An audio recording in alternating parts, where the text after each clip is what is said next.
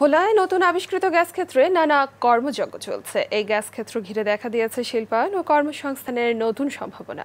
দেশের অর্থনীতিতে যা ব্যাপক ভূমিকা রাখতে পারে। ভোলা প্রতিনিধি হামিদুর রহমান হাসিবের পাঠানো তথ্য ও ছবি নিয়ে ডেস্ক রিপোর্ট। ভোলায় আর কোনো গ্যাস ক্ষেত্র আছে কিনা তা জানতে ভোলা সদর উপজেলার ভেদুরিয়া ইউনিয়নের মাঝিরহাটে গত নয় ডিসেম্বর খনন কাজ শুরু করে বাপেক্স। পনেরোই জানুয়ারি জানানো হয়, অনুসন্ধানে নতুন একটি গ্যাস ক্ষেত্রের সন্ধান মিলেছে। এটি দেশের সাতাশতম গ্যাস ক্ষেত্র। এতে অন্তত ছয়শো বিলিয়ন ঘনফুট গ্যাস মজুত রয়েছে বলে ধারণা করা হচ্ছে।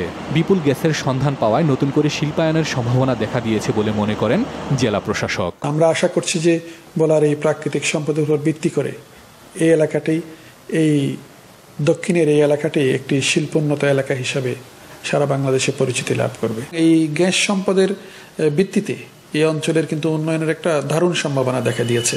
এখন সরকার বিবেচনা করবে কোন কোন শিল্পকে অগ্রাধিকার ভিত্তিতে এখানে স্থাপন করবে। আগে আমাদের চাহিদা পূরণ করার পরে ভোলা জেলার বাইরে যে গ্যাস যাক আমরা এটি সরকারের কাছে দাবি করতেছি আমাদের এই ভেদুরিয়া প্রত্যেক বাড়িতে বাড়িতে গ্যাস যাতে সরকার পুষিয়ে দেয় সে ব্যবস্থা নিতে এই গ্যাস ক্ষেত্রকে ঘিরে শিল্পায়ন হলে কর্মসংস্থান হবে অনেক বেকারের। তবে এর জন্য প্রয়োজন সরকারি বেসরকারি উদ্যোগ মনে করছেন এলাকাবাসী। আমরা চাই এই গ্যাসটা দিয়ে যাতে এখানে শিল্প কারখানা গড়ে ওঠে। গ্যাসের মাধ্যমে আমরা এলাকা অনেক উন্নত হব আমাদের ব্যবসা বাণিজ্য অনেক উন্নত হবে। আমরা খুব আনন্দিত আমরা যারা বেকার আছি আমাদের যাতে কর্মসংস্থান হয়। উনিশশো চুরানব্বই সালের পর থেকে এ পর্যন্ত ভোলায় তিনটি গ্যাস ক্ষেত্রের সন্ধান মিলেছে। বর্তমানে চারটি কূপ থেকে গ্যাস উত্তোলন করছে বাপেক্স। মাছরাঙা নিউজ ডেস্ক।